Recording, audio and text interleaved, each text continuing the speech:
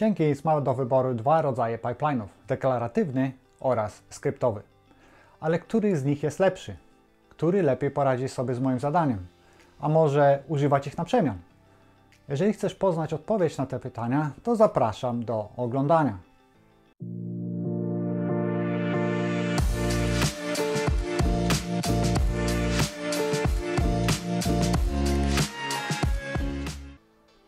Jenkins do dzisiaj jest jednym z najczęściej używanych narzędzi do budowy oprogramowania opartego o język Java.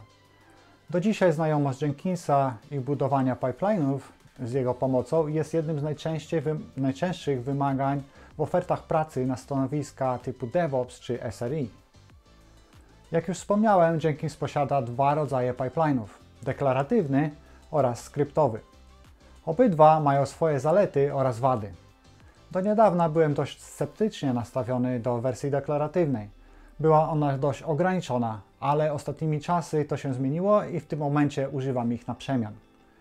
Na pytanie, kiedy używać której wersji, odpowiem trochę później, więc zostań ze mną. Tak na marginesie, dziękuję za poświęcony czas i mam nadzieję, że informacje, które tutaj znajdziesz, będą dla Ciebie ciekawe i wartościowe. Z tego miejsca zapraszam Cię do subskrybowania naszego kanału i jeśli podoba Ci się content, to nie zapomnij dać łapkę w górę. Prowadzimy też grupę na Facebooku, do której bardzo gorąco zapraszam. Link znajdziecie w opisie tego odcinka. Zacznijmy od pokazania zalet i wad obydwu z nich. Przesiadamy się więc na komputer i zaczynamy.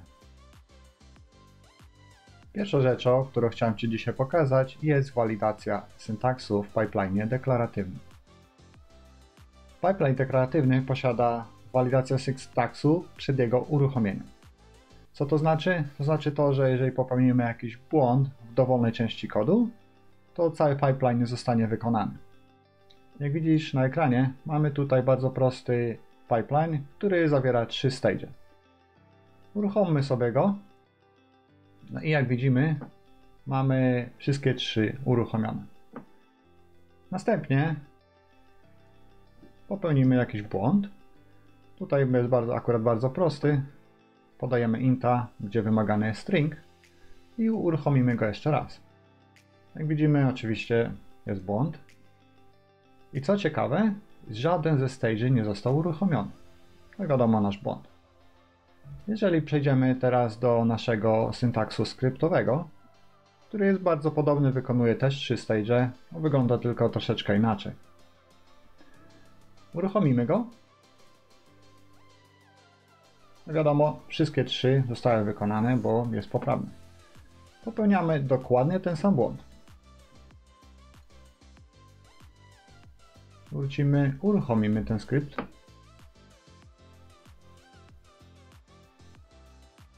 Jak widzimy na ekranie, jest błąd. No i tu jest różnica. Jak widzisz, build i test został wykonany i dopiero w deploy został zwrócony błąd, co wiąże się z, pewno, z pewnymi konsekwencjami. Jeżeli na przykład build zajmuje 5 czy 10 minut i następne testowanie aplikacji zajmuje następne kilka minut, i popełniliśmy taki prosty błąd, no to w tym momencie musimy czekać te, te 10 minut na wykonanie tego kodu i zostanie nam pokazany taki piękny błąd. Drugą rzeczą, którą chciałem Ci dzisiaj pokazać, jest to, że pipeline deklaratywny może zostać wykonany z, dowolnej, z dowolnego stage'a lub też inaczej. Dowolny stage może, może być wykonany. Widzimy, mamy dalej nasz bardzo prosty pipeline, prawda? Uruchommy sobie go. Jak widzimy, wszystkie trzy zostały wykonane, ale z jakiegoś powodu po prostu chcielibyśmy uruchomić jeszcze raz testy. Jak widzimy tutaj, możemy zrestartować tylko test. Uruchamiamy go, jak widzimy, test został wykonany i tylko test został zrestartowany. Build, ignore, deploy, nie został wykonany. Jeżeli zrobimy dokładnie to samo, przynajmniej spróbujemy zrobić dokładnie to samo w pipeline skryptowym, no niestety ta opcja nie istnieje. Uruchomimy jeszcze raz ten nasz pipeline. Jak widzimy tutaj wszystkie trzy zostały wykonane.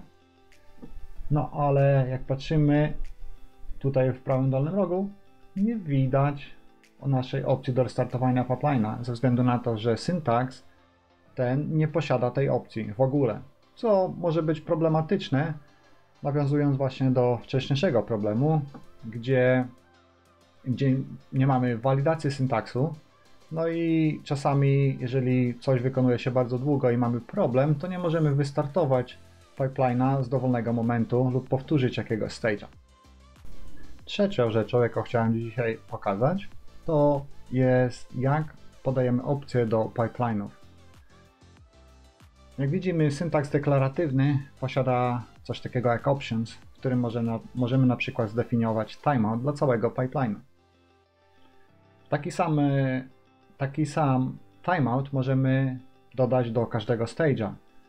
Więc ten pierwszy będzie, będzie po prostu dawał nam timeout na pełne wykonanie kodu, więc po prostu nie, kod, który wykonujemy, nie zostanie wykonywany w nieskończoność. I jeżeli popełniliśmy jakiś błąd lub czekamy na jakiś resource przez, przez bardzo długi czas, to po prostu odblokujemy nasz e, executor, executor na Jenkinsie. Drugim, drugi po prostu możemy wykonać w stage'u i w tym momencie ustawiłem to specjalnie na nanosekundy, po prostu żeby pokazać jak, jak to zadziała. Uruchomimy ten kod. W tym momencie widzimy, że coś tutaj jest nie tak. Jeżeli zajrzymy, to na górze widzimy, że build został wykonany, ale nastąpił jakiś błąd i wszystkie inne wszystkie inne stage zostały po prostu pominięte. Jeżeli zeskrolujemy troszeczkę niżej, widzimy, że nasz timeout expired. Dokładnie to samo można uzyskać w syntaksie skryptowym. Różnica polega na tym, że po prostu jest to blok kodu, w którym trzeba zamknąć daną instrukcję. Więc jeżeli chcemy po prostu dać timeout na pełny pipeline, no to wtedy musimy zamknąć po prostu w bloku kodu taki timeout. Następnie stage mają podobnie takie, takie podejście, więc na przykład możemy zamknąć tylko echo i powiedzieć, że jeżeli nie wykona się w 50 milisekund, w nanosekundach, no to mamy timeout. Zobaczymy jak to będzie wyglądało. Jak widzimy tutaj, wynik jest podobny, prawda? Mamy build wykonany, test został e, pominięty, został pominięty ze względu na błąd, no i deploy się nigdy nie wykonał, bo dostaliśmy timeout. Następną rzeczą jest, jak widzimy tutaj, różnica w raportowaniu pomiędzy skryptowym a, a deklaratywnym. E, tutaj widzimy tylko bardzo prostą jedną linię i jakiś minus. Tutaj jest to dużo ładniej przedstawione i dokładnie widać już po, po samym E, spojrzeniu na pipeline, że po prostu mieliśmy jakiś timeout i stage zostały pominięte. Kolejną rzeczą, którą chciałem Wam pokazać jest to, jak Jenkins podchodzi do deklarowania zadań, które mają wyko być wykonane na poszczególnych agentach. Jak widzimy tutaj pipeline deklaratywny zaczyna wyglądać jak trochę długi, ze względu na to, że musimy dodać dość dużo komend. E, Jak widzimy na górze mamy zdefiniowany agent known, który, jest który mówi pipeline'owi to, że każdy stage będzie wykonany na poszczególnym agencie, prawda?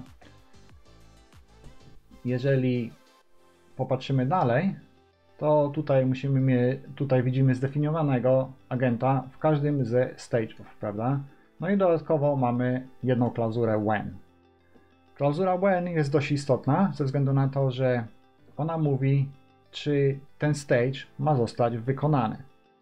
Następną opcją jest before agent. Mówi to pipeline'owi to, e, to, że musimy wykonać tą klauzurę when bez uruchomienia tego agenta. Co na przykład tutaj nie ma zbyt wielkiego znaczenia, ale jeżeli używamy na przykład dedykowanych instancji, które są na przykład na AWS-ie lub są to kontenery Dockera, no to w tym momencie ten, ten kontener czy ta instancja nie zostanie uruchomiona tylko po to, żeby sprawdzić, czy wartość e, naszego when zwróci false czy true i czy, czy następne stepy zostaną uruchomione. Zobaczmy jak to wygląda w działaniu. Uruchomimy sobie ten kod.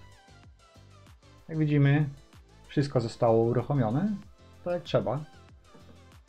W tym momencie sp sprawimy, że po prostu nasz test zwróci false, tak? I zobaczymy jak to wygląda.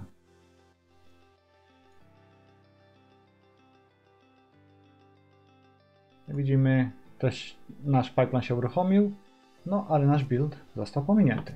Jeżeli sobie popatrzymy, dlaczego został pominięty, ze względu na to, że mamy tą klauzurę when, ale następne stage zostały wykonane.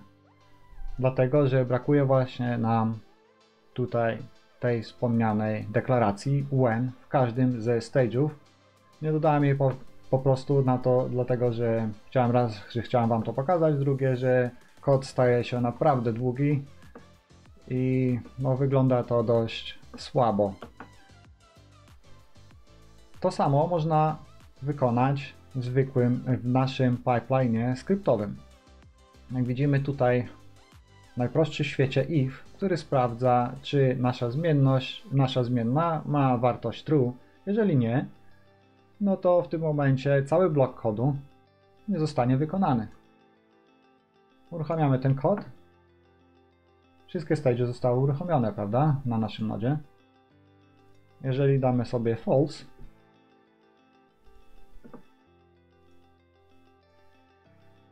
nic nie zostało uruchomione ze względu na to, że nasz test zwrócił false i nasz is if po prostu się nie wykonał, prawda? Co daje nam dość ciekawą opcję ze względu na to, że możemy tutaj podejmować decyzje i jeżeli popiszemy sobie do tego jakieś metody czy funkcje, no to wtedy wygląda to dość, dość ciekawie, no i można budować dość skomplikowany pipeline. Ostatnią rzecz, jaką chciałem dzisiaj Wam pokazać, jest nasza opcja Post. Post po prostu wykonuje się po zakończeniu pipeline'u i nieważne czy pipeline zakończy się z błędem czy sukcesem, zawsze post będzie wykonany. Możemy też zdefiniować, jak widzimy tutaj, co będzie, co będzie wykonane w każdym z elementów. Jeżeli na przykład mamy jakiś błąd, w naszym pipeline, no to wykona się ta część kodu. Jeżeli pipeline miał sukces, no to wiadomo to. No i opcja always, czyli bez względu na to, co zwróci pipeline, to zostanie wykonane. Jest to dość przydatne ze względu na to, że możemy na przykład uruchomić następnego joba lub jeżeli mamy jakiś fail na, na naszym naszym pipeline, możemy na przykład poinformować dewelopera o tym, że no niestety build czy, czy test ma faila i, i musi do niego zajrzeć. Sądzę, że obydwa modele mają swoje za i przeciw. Osobiście używam jednego i drugiego. Zazwyczaj decyzja o tym, której wersji użyć zależy od złożoności kodu, który muszę napisać. Załóżmy, że mamy za zadanie zbudować i przetestować jakąś aplikację, napisano w Javie i użyć do tego Mavena. W tym wypadku śmiało sięgam po pipeline deklaratywny ze względu na przejrzystość kodu oraz jego strukturę. Jeżeli na przykład użyję Jenkinsa do deploymentu jakiejś infrastruktury, używając na przykład Terraforma, wtedy też raczej użyję syntaksu deklaratywnego. Jeżeli na przykład mój pipeline wymaga przekazywania informacji pomiędzy poszczególnymi etapami, lub też muszę użyć kilku agentów, wtedy raczej sięgnę po stary, dobry scripted, pipeline. Muszę jednak liczyć się z tym, że napisanie tego kodu będzie wymagało dużo więcej czasu, ponieważ dużo łatwiej jest popełnić błąd. Czasami, gdy trafi się nam nawet jakaś mała literówka czy brak klamry gdzieś na końcu kodu, to testowanie może zająć dość dużo czasu. Jeżeli podobał Ci się ten odcinek, to nie zapomnij dać łapkę w górę oraz zasubskrybować nasz kanał, aby dostać powiadomienie o nowych odcinkach. Daj znać, co sądzisz o tym odcinku, jeżeli masz ochotę posłuchać więcej na temat Jenkinsa oraz jego zastosowaniu w życiu codziennym DevOpsa, to zostaw komentarz poniżej.